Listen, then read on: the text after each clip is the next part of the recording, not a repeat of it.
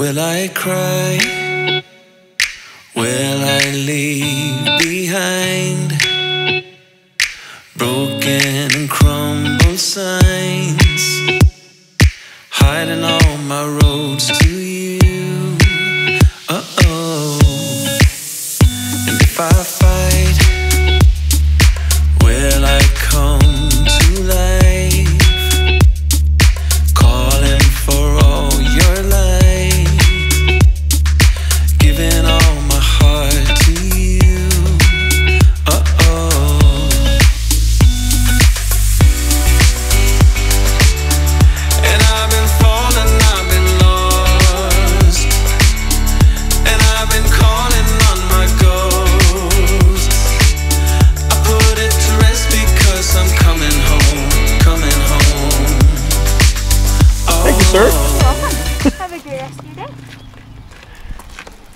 service. Breakfast. Here you go, a BLT. Thank. Oh, thank you. It's a nice place. Uh, it's uh, country, country farm. No, Country country, Country Fork. Country Fork. Uh, we're just about to go in, in- to Long Point. Um, yes. Good. Mm-hmm.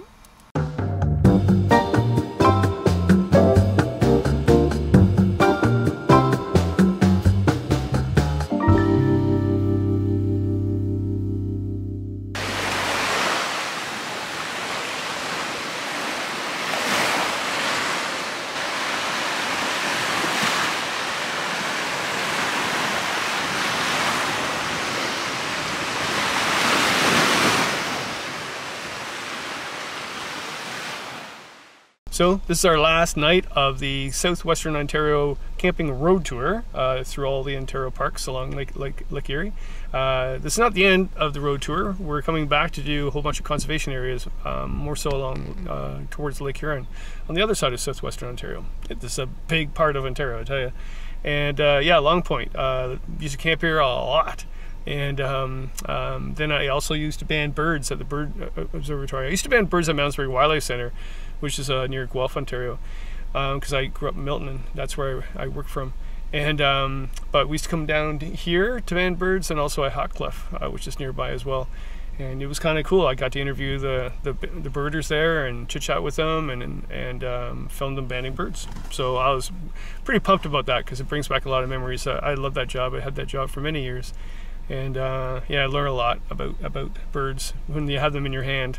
So it was kind of cool to watch them do it. Hey, Mark, where, where are we? Uh, this is Long Point Bird Observatory, the oldest, largest, and most productive bird observatory in the Western Hemisphere. That's cool. And who are you? I'm Mark Conboy, and I'm the program manager here. I run the place, keep it going day to day, ban 20 to 30,000 birds a year with my staff, and uh, we have a great time of it. This is living the life. That's fantastic. And why? What's so special about Long Point?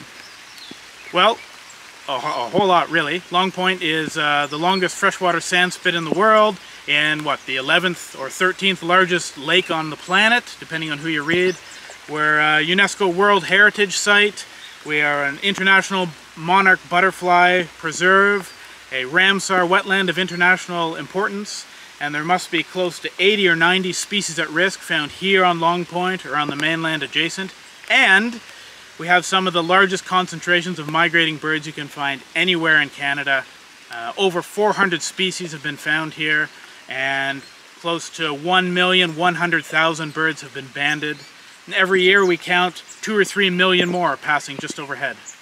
It's a fantastic place.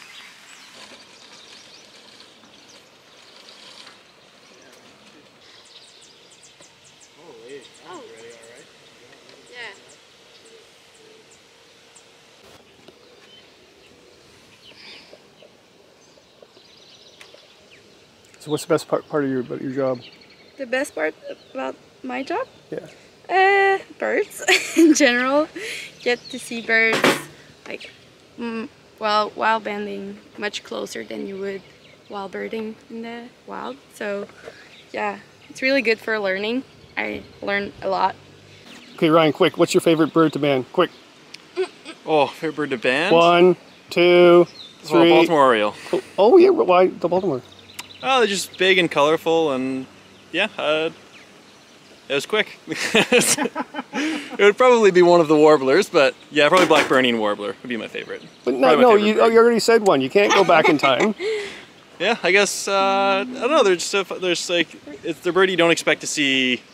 I don't know in Canada. They don't seem like a very Canadian bird. They seem more like a, a tropical esque bird. But Okay, what, what's the most um, uh, uh, vicious bird to, to, to ban? You know, cardinal. really? Oh yeah, Card, cardinal or rose-breasted grosbeak, one of the two. Wow. Yeah, they have unbelievably powerful bites, and you'll often hear screams in the banding line. Or see tears. yeah, I've had blood drawn from cardinals and grosbeaks. So you guys have seen uh, Ryan cry. Oh, I've made him cry. Sorry.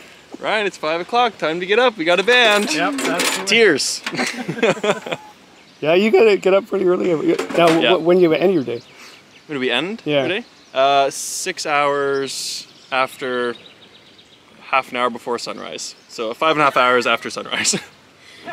yeah.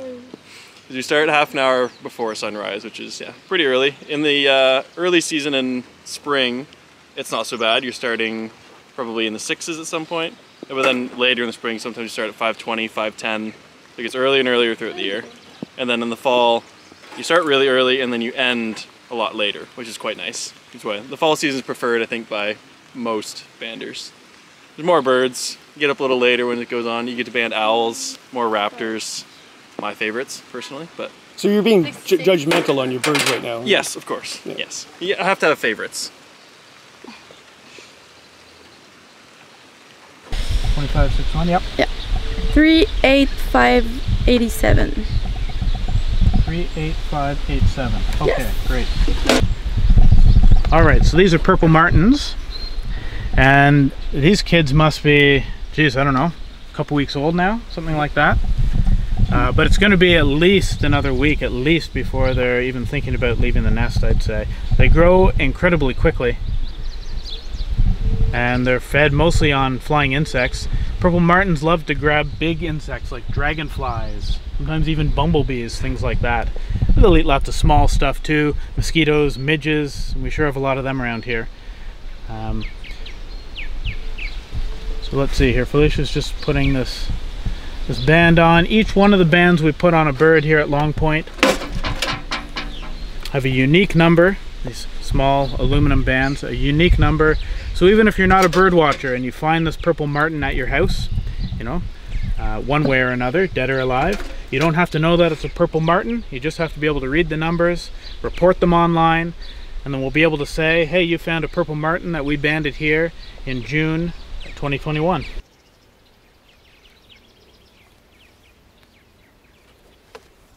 So Ryan, Ryan, you basically put them in the bag to calm them down. That's Yeah. Yeah. Yeah. So when they're in these bags, they- they tend to calm down. If you have them out, they can see what's going on and they're a little bit more scared. Uh, it's kind of like reptiles. You cover their eyes, they calm down, and they're generally okay. Some of them will. You have certain birds like catbirds and wrens. They're always yelling about something, but most birds will calm down when you go in the bag. see, maybe they should try that with me. Just put me in a bag and be calming down a lot.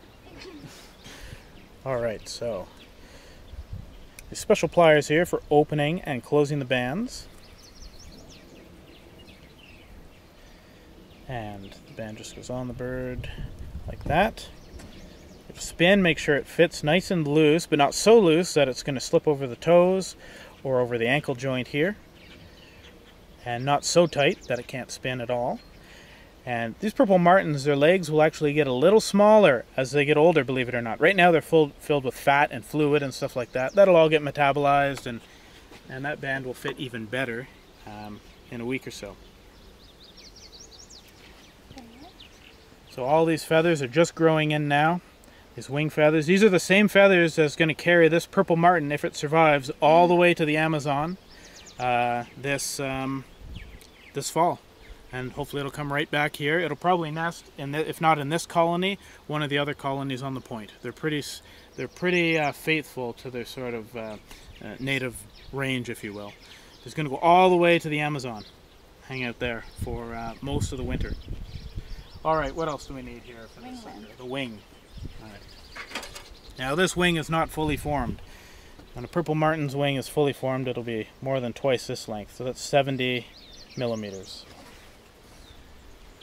It's going to be another couple weeks before the sucker's ready to fly any distance. See This big fleshy gape here. If we could get it to open its mouth, if we had a dragonfly for it, it might open its mouth right up and be bright yellow. And where they nest inside those dark, um, those dark gourds, you know, there's no light in there, but this acts like a sort of a beacon or a stimulant to the parents, right? They see that big orange or yellow mouth, and they're like, must fill with food, right? And it just it just turns them on to do that. Um, all right, there you go, Ryan. That's our last one from this from this brood.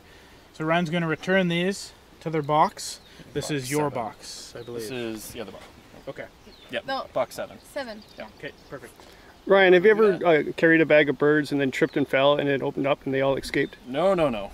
Very professional environment, so bird safety is number one priority. So never done it.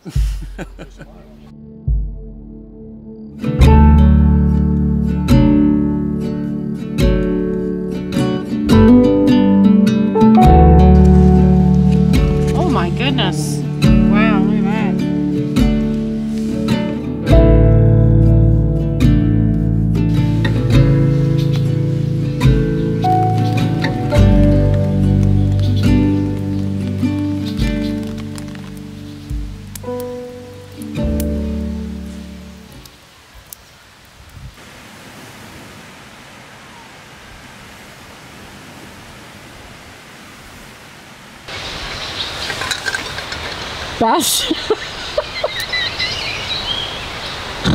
You don't even remember the first question. Do you want me to ask myself?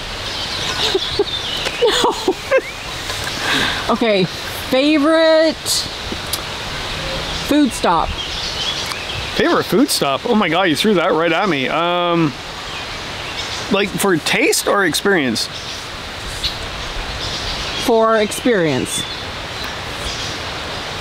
Uh, actually, the um, in the town of Selkirk, I forget the name. Um, the the couple that had the oh kitchen something. Just uh, um, emphasize uh, one main thing I wanted to do during this trip is promote local businesses uh, because of COVID and you know they're not doing well right now. So we we really went to a lot of places to eat, eat uh, and take out, uh, basically because that was our, our philosophy. Are the interviewers allowed to? Am I allowed to drink while I'm doing? Yeah, go ahead and have a swig. Okay. Yeah. Oh, what was the best perch place? You know, it's all a blur because I had perch and or walleye every day. Favorite beach along Lake Erie. I'm not a beach person, so I'm not one that would sit at the beach at all. I'd go on a nature trail and do all that stuff way before. But for visual, and people disagree with me, uh, but the one at uh, Whe- Wheatley, when we went out for that morning hike before we left to go on onto the next uh, park, and it was all eroded. It, it, it- you know, it was basically Mother Nature was knocking the heck out of it. But wow, I loved it. It was really cool. Yeah. What is the gear that you wish you had here? That's at home. Oh, more scotch. That's got- not. That's not gear. It is gear for me. Like, I, No. um, here's the thing about it. Like, it's a great winery down here, breweries uh, all over the place, fantastic. But you go to a small town LCBO and you got to improve your scotch. That's what I'm saying. I was drinking blended. It was it was a nightmare. Gear that I wish I brought. Well, you're right about the pop-up tarp. I mean, every single night, and it, and it rained every single night on our trip. Uh, I, I, I, it, I had to be a master tarp person to put that tarp up because you're in an open area with not that many trees, and if there is a tree, there's poison ivy around it. so um, I, I, I did okay, but every single night putting that tarp up was a challenge. So if we just had a pop-up one, that would make a lot more sense. But that, that you know, it shows me like I, I, usually go north and there's trees everywhere. Um, here it's just a wide open area, so you have to really think beyond uh, the uh, the horizon. Favorite footwear. Well, obviously, I should have worn my boots today when I was taking the tarp down because I got stung by something wearing sandals. And What campground will you bring your grandchildren to? whoa! I'm a nerd. I would I would go to Selkirk because it, someone has to show those kids that those oak in there. The, they're amazing. The trees in there were oh my lord. They uh, and Komoka. I mean that hike we did. The the trees we saw in there, unbelievable. So yeah, but the kids aren't going to like that. They're going to like Rondeau. I, I, I get it. Rondeau's a really good family park. This is a Long Point, a really good family park. Wheatley is a really good family park, but I think a lot of people say at Wheatley so then go to the, go to the um, uh, Point Pelee because there's not really much camping there. Um, I, there wasn't one here I wouldn't take them to. Last question. Last question. Okay, let me think. I have to think of one. All right. Um, Do do do do do do do do favorite small town that you would retire in? Oh god. the one I wanted to go to and show you, but we're kind of delayed that day was Uru. No, I can't pronounce it right. Erieau? Erieau. Thank you? I don't know if that's Yeah. right or not. That's that's a nice place, but um, because of the atmosphere and the people we met, especially at the museum, um, Selkirk, that that to me characterized uh, southwestern Ontario small town kindness, uh, purity, and uh, history. Lots of history. I think I'm all out of questions. Really? Did I ask you a gear question yet? You did, but I don't think I answered it. Um, Favorite, favorite, no, not favorite. The most important piece of gear that we brought. Sense of humor, No, that doesn't, that's not a piece of gear. On, love for each other. That's lovely. That's very sweet, Kevin. Okay. But that's not a piece of gear. Oh, the bucket, the red bucket. it is same as last year when we went north. We got this red bucket. We used it for everything: washing our clothes, washing our feet, um, uh, washing the dishes. Yeah, we did everything uh, with that red bucket. We, we didn't have a lot of misadventures really. Like uh, if you think about it, we had major storms, we had major heat. Uh, my dog had the trots big time for a long, long time. We had to get special medication for, for her because of the heat. Um, Oliver threw up in the car today. That was lovely. Uh, I know you hate me talking about it, but but he did throw up in the car. Um, I had a weird eye thing where my my blood vein burst in my eye. I got stung in my leg. Uh, I don't think much happened to you. Um, yeah, so that's lucky. But overall, that's what kind of happens when you're going on a camping trip, isn't it? It's what's called an adventure.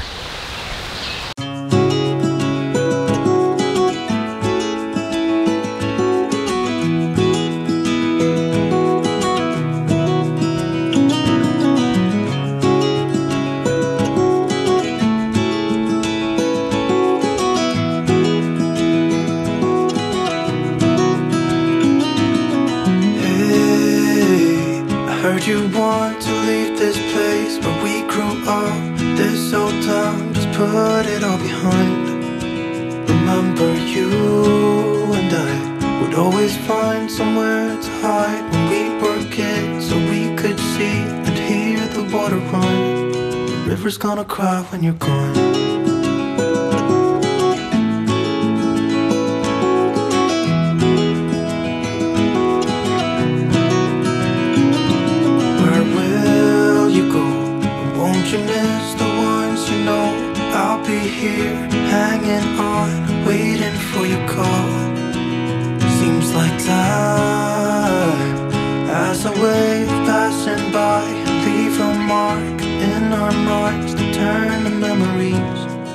River's gonna cry when you're gone, gone, gone, gone. River's gonna cry when you're gone, gone, gone, gone. River's gonna cry when you're gone, gone, gone,